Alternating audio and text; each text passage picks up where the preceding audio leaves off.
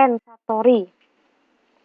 Nah, melalui model ini, atribut lemah, atribut dari produk itu yang lemah dapat digeser oleh atribut yang kuat.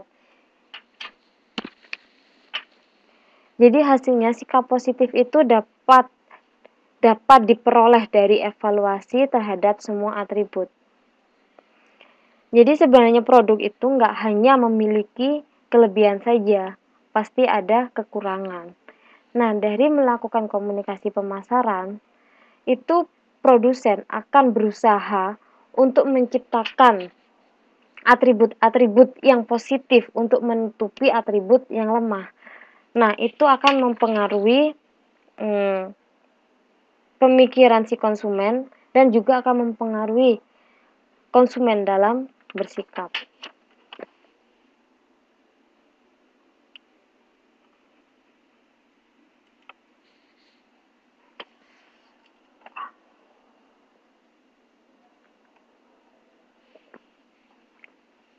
Kemudian yang selanjutnya adalah pengaruh lingkungan.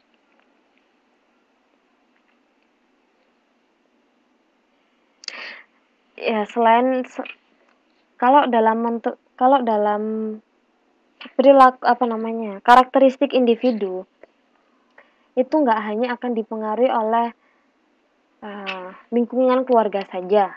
Kalau ini kalau ini kita berbicara tentang karakteristik individu ya, nggak hanya dipengaruhi keluarga saja atau nggak hanya dipengaruhi bagaimana orang tuanya saja, tapi juga akan dipengaruhi hmm, teman temannya, lingkungan pergaulannya. Nah, alhamdulillah nggak menutup nggak menutup kemungkinan bahwa lingkungan itu akan mempengaruhi lebih besar ke karakteristik individu.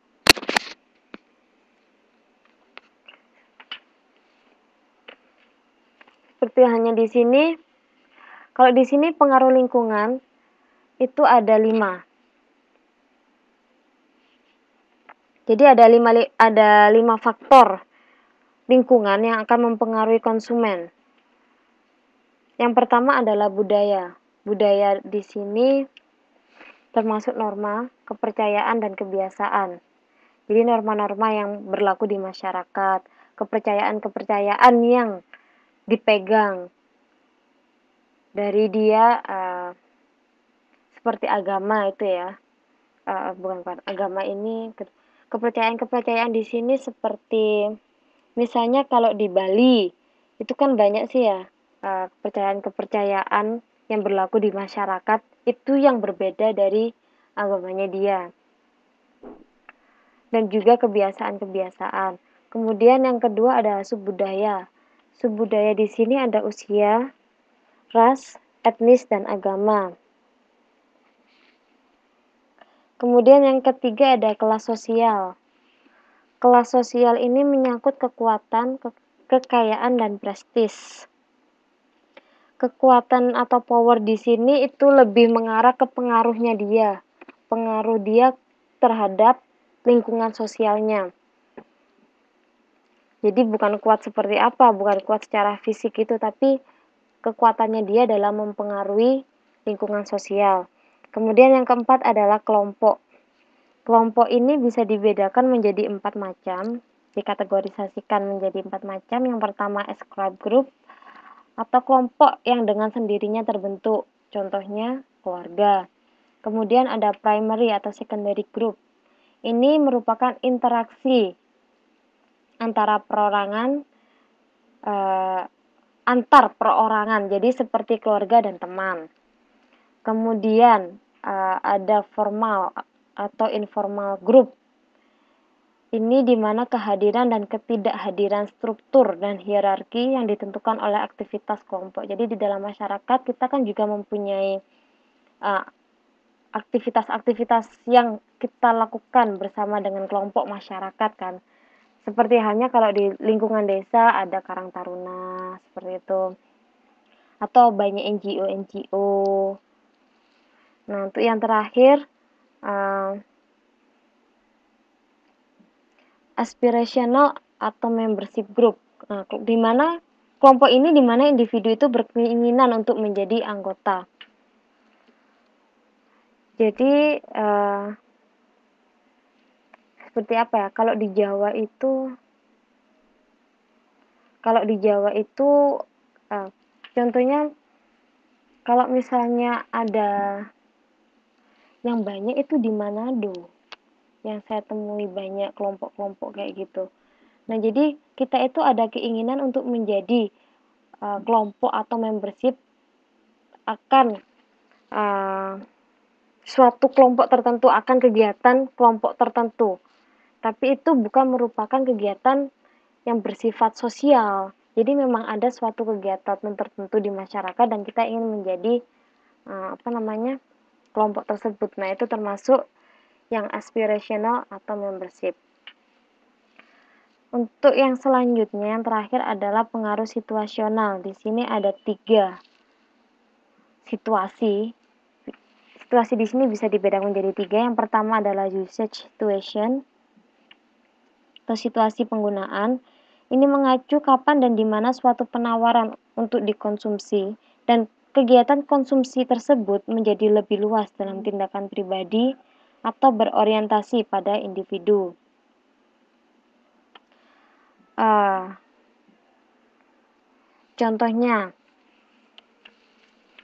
contohnya, kalau kalau masyarakat Indonesia sudah terbiasa hmm, menggunakan nasi sebagai makanan pokoknya, itu orang uh, produsen produsen makanan sereal atau makanan-makanan yang dari gandum itu harus bisa apa namanya menyelesaikan situasi yang seperti ini. Jadi kalau dia ingin memasukkan sereal ke Indonesia dan ingin memposisikannya menjadi apa namanya makanan pokoknya itu dia benar-benar harus bisa menyelesaikan kondisi di mana bahwa masyarakat Indonesia tersebut makanan pokoknya sebelumnya adalah nasi.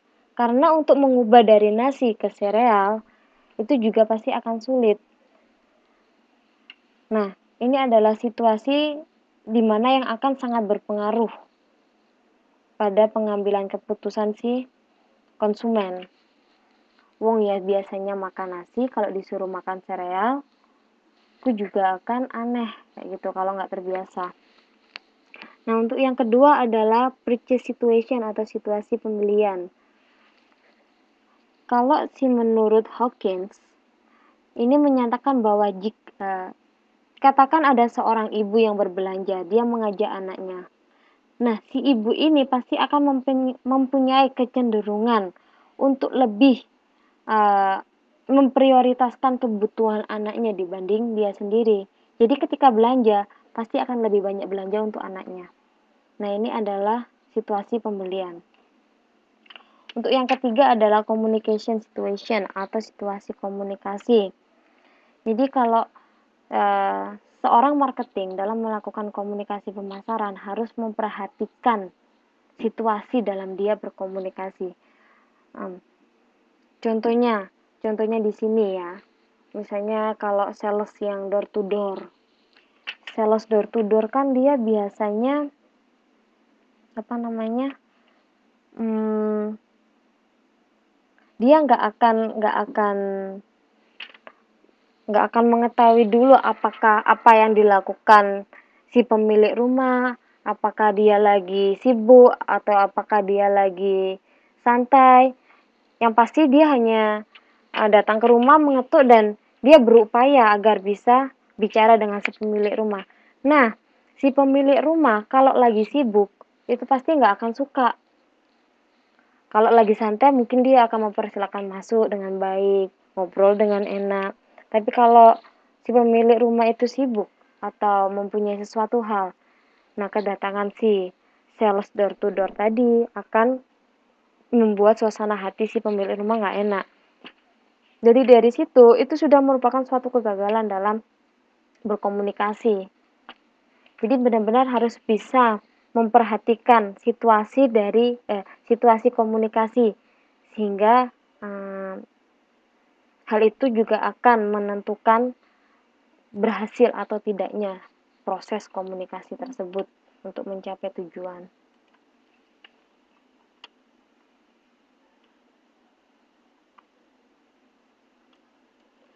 Kemudian di sini selanjutnya adalah proses pembuatan keputusan pembelian.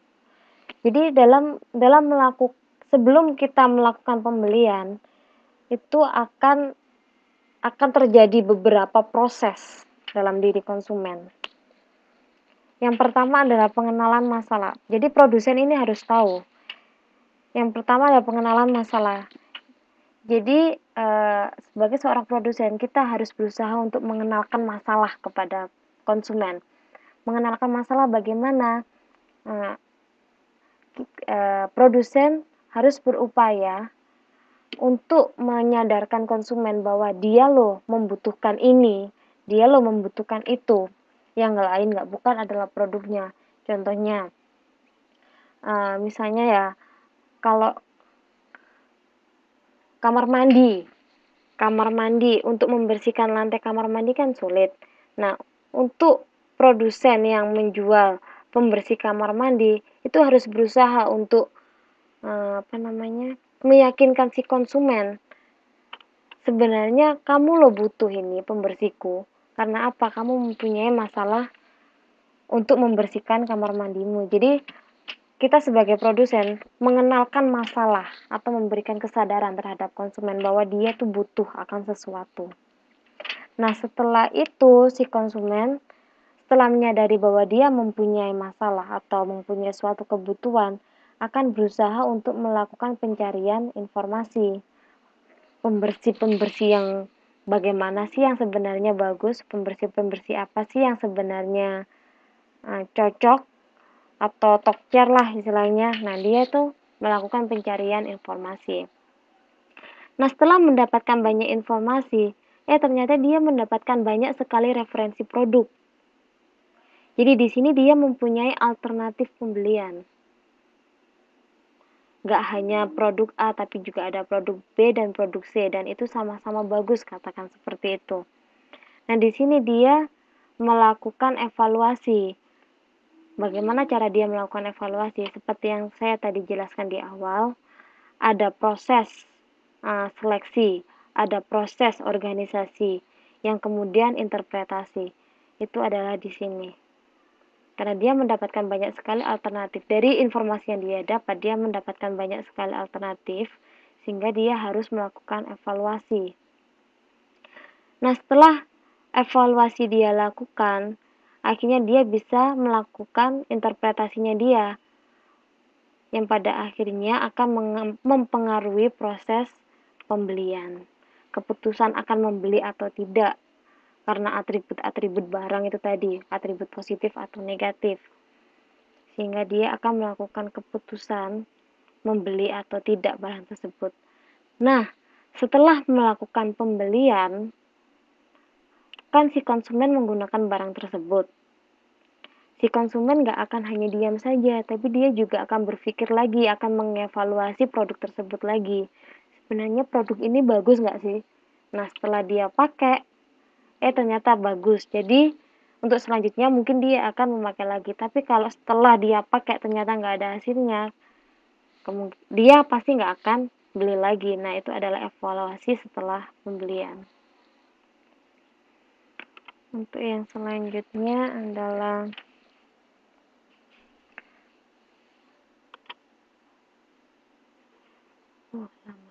Uh, dari sini ada yang ditanyakan kah?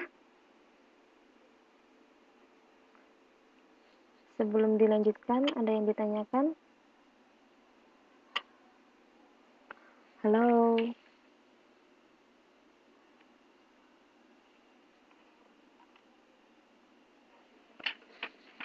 Oke, saya lanjutkan di sini ada tipe keputusan konsumen.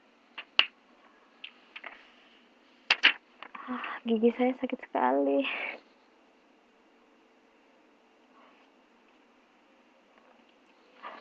Oke, di sini ada tiga, tiga tipe keputusan konsumen. Yang pertama adalah perluasan pemecahan masalah atau extended problem solving. Perluas extended di sini adalah perluasan problem solving di sini adalah pemecahan masalah.